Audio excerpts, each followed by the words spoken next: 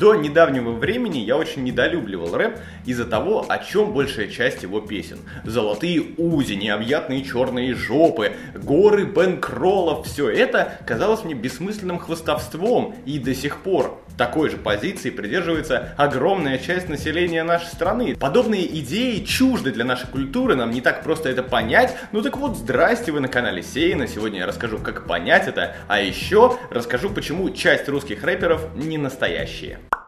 Сейчас все быстренько я вам объясню на примере поколения Крека. Есть э, одноименный фильм, э, который рассказывает подробно о том, о чем я сейчас вам расскажу кратенько, поэтому настоятельно вам советую вот после этого ролика там поставить лайк, рассказать всем друзьям про то, кто такой Сейн, и потом идти смотреть эту документалочку. Так вот, в Америке до сих пор существует огромное количество гетто. Это бедный район, в котором зачастую живут люди, объединенные одной национальностью или цветом кожи, или каким-то таким признаком, который не дает им социального социализоваться. Вариантов выбраться из этой нищеты очень немного. Работы нет, э, уехать куда-то в другое место тебя там могут не принять, на что тебе жить там, э, да и ты сам, как правило, не имеешь какого-то образования, чтобы быть востребованным в других местах.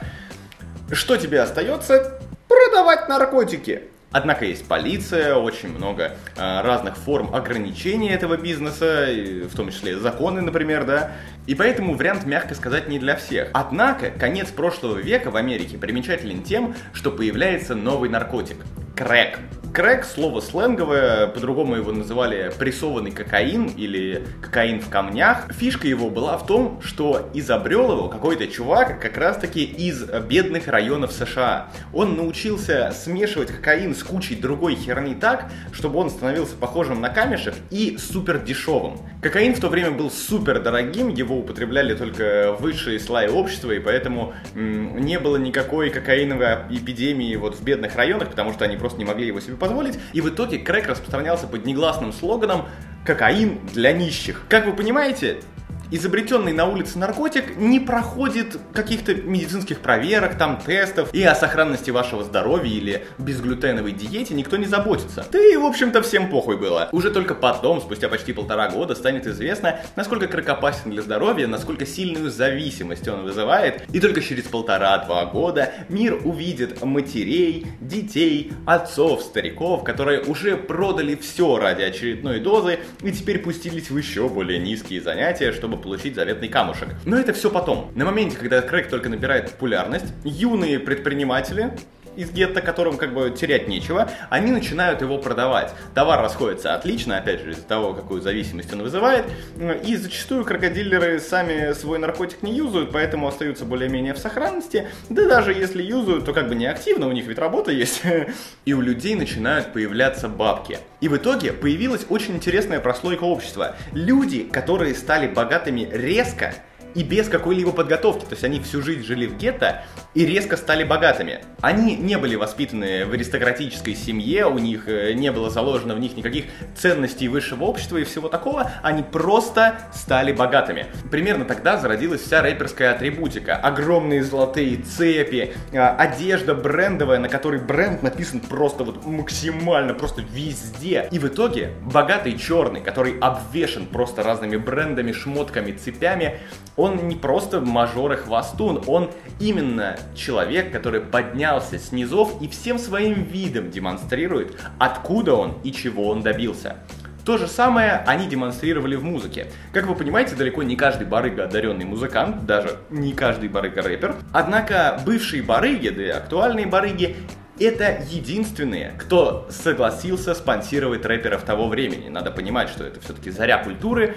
А, всем это все еще кажется, что какие-то нищие просто говорят, потому что петь не умеют. И в итоге Крэк убивает одну часть Америки, а другую часть Америки делает популярной для первой части. Однако этим влияние Крэка не ограничивается. Те эмси, которых спонсируют крэкодиллеры, читают про то, что происходит у них на улицах, в то время как вся политика, новости и прочие официальные источники пытаются обходить проблему гетто, крека, нищеты, безработицы, расизма стороной. Реальные проблемы людей из гетто не затрагиваются. А когда вся эта медиасфера добралась-таки до крека, они устроили жутчайшую истерию. Крекозависимые люди стали отличным пунктом в агитации каждого политика на выборах, да и в принципе политической гонки, которая в Америке не прекращается Люди, которые представления не имеют о том, что говорят, предлагали самые безумные реформы. Знакомо, не так ли? Безумие закончилось на том, что крэк выделили из остальных наркотиков очень интересным соотношением. 100 к 1. То есть, если у тебя находят 5 грамм любого наркотика, тебя судят как за 5 грамм любого наркотика, а если у тебя находят 5 грамм крека, тебя судят как за полкило крека. То есть, понимаете, маленький камешек в вашем кармане превращается в нормальную такие пару кирпичей, которые, естественно, дают очень нехилый тюремный срок. И в итоге люди, которые продавали крек из-за того, что они просто больше никак не могли заработать, а хочется там и самому жить, и свою семью кормить, это не значит, что наркоторговля хорошая или плохая. Наркоторговля получается, когда люди больше никак не могут заработать. Это просто факт. Я здесь ее не одобряю, не осуждаю. Важно то, что она есть. И если людям будет чем еще заняться, у них будет меньше стимулов продавать наркотики. Все очень просто. А подобные ограничения привели к тому, что э, люди сначала из-за своей бедности были вынуждены продавать крэк, а после этого загремели в тюрьму на десяток лет, и их жизнь как бы окончательно сломалась, и вы породили как бы гетто еще и в тюрьме, а когда это гетто из тюрьмы выйдет, оно как бы усугубит состояние гетто типа там, потому что вы там-то ничего не исправили, ну, в общем вы понимаете. И все то, что я говорю сейчас, это произносили только рэперы в своих треках.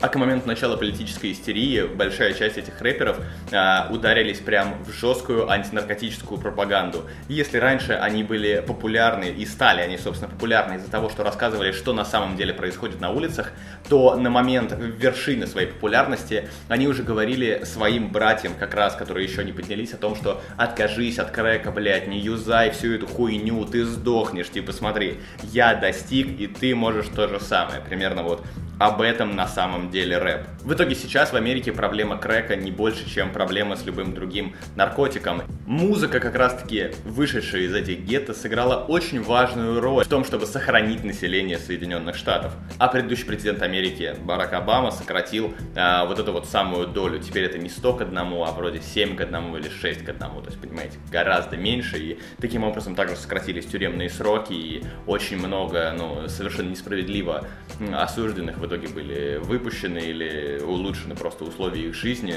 Понимаете, насколько это важно. Теперь выходим из Америки и смотрим на это вот в общем.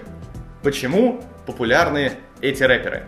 Потому что они осознают свою идентичность. Люди без музыкального образования, без всяких таких скиллов, которые делали очень простую музыку, могли стать популярны только за счет того, какие они есть. Этот стиль родился на улицах, сформировался на улицах, и огромное количество чуваков учились читать на улице, то есть просто типа тусили своими компашками, и там всем это нравилось, и таким образом это развивалось. И их читка, и их собственный стиль, родившийся на улице, и то, про что они читали, это их жизнь. Вот эта вот штука, что э, типичный рэпер читает либо про то, как плохо было у него на районе, либо про то, как ему сейчас охуенно, потому что он богатый, в этом и есть вся суть, весь смак, потому что это актуальная проблема для их общества. Он идентичен и прекрасен именно в том, что вот у него свои уникальные проблемы, свое уникальное видение, э, и таких вот целая общность. И рэп в итоге итоге завоевал планету, то есть, ну, понимаете, его слушают на всех континентах, его теперь делают на всех континентах,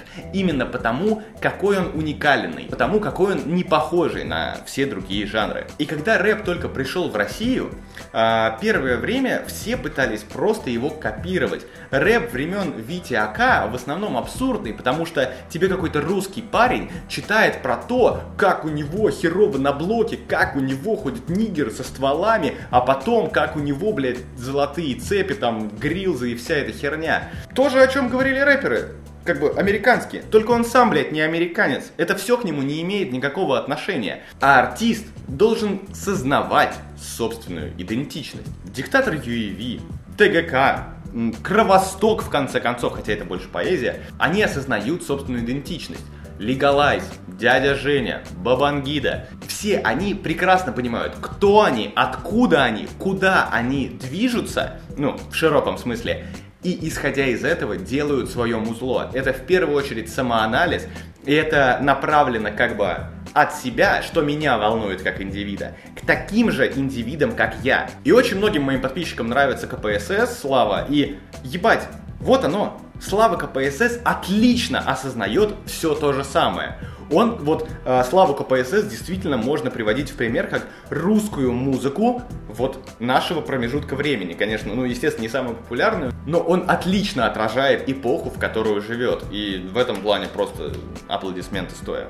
И вот эти люди настоящие русские рэперы. А ребята типа Яникса и... Ну, я не могу сейчас долго называть имена, потому что меня они как бы многие раздражают, а я очень не хочу пускаться вот в то, чтобы называть говно говном. В общем, из-за не особой развитости нашего сообщества, которое музыку воспринимает, у нас нету и нормальной критики этой музыки, и поэтому слишком мало людей хотят спросить у русского рэпера, который читает, блядь, про огромные черные задницы и вообще, в принципе, употребляет слово нигер, типа, зачем, блядь. Никто не может у него спросить, типа, чувак, ты что, ебанутый, что ты делаешь, это же все фейк-щит, ты чё, блядь. И раз уж об этом заговорили, вот можно вопрос, пожалуйста, вот у меня умная, замечательная аудитория, ответьте мне, моя умная, замечательная аудитория, что, блядь, с лизером? Почему люди респектуют лизеру? Ему респектует Прусекин. Он типа как-то, он там тусит с Little Big Family, с людьми, которые прямо сейчас производят охеренный, качественный контент, самобытный. А у лизера есть песня «Пачка сигарет».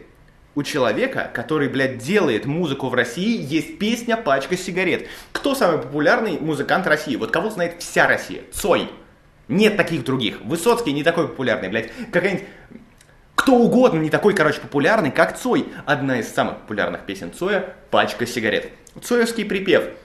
Но если есть в кармане пачка сигарет, значит все не так уж плохо на сегодняшний день. Припев Лизера. Пачка сигарет в моем кармане заставляет жить меня этот день. Ебать, я чё, один это вижу? Я, блядь, нет, ну серьезно? Ну то есть это такой типа вольный кавер, современный ремейк? Ну так он хуже оригинала. Ну в смысле, почему очень многие воспринимают Лизера за нормального самостоятельного артиста, они типа не знают про эту песню, они не знают про то, что происходило с его предыдущими песнями, и что они зачастую являются просто калькой с других, типа, западных артистов.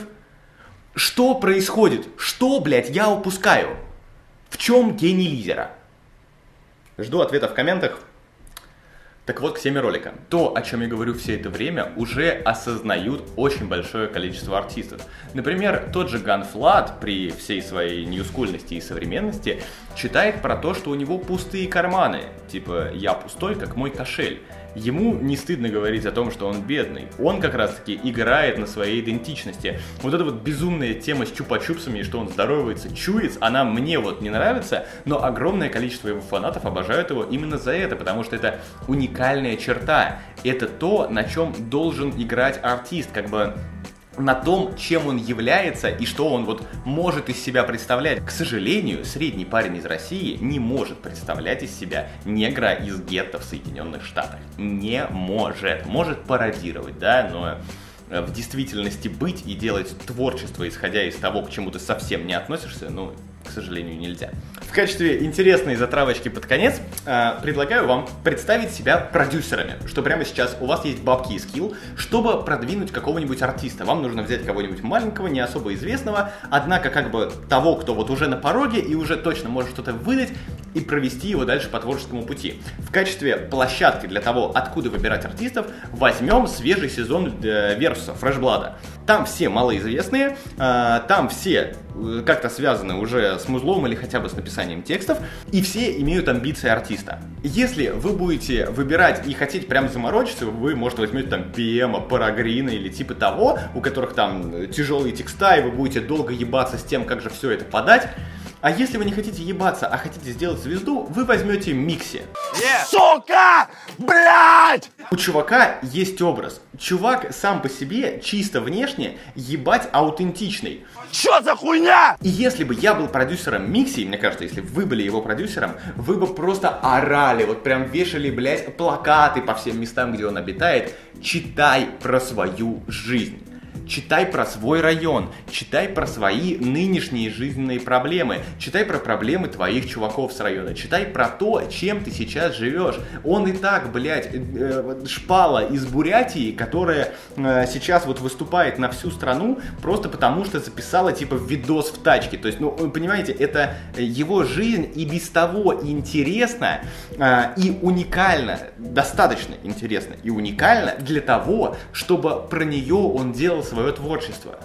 Э, А те треки, которые я слышал, это как раз таки скорее пародия на Запад, и вот ровно поэтому Микси не популярен, потому что он, ну, не осознает собственную идентичность. Вот такие дела. Если вы сами артист, обязательно осознавайте собственную идентичность. Делайте то, чем вы являетесь. Однако не оставляйте попыток являться большим, чем вы есть сейчас. Ты знаешь, за кнопку подписки.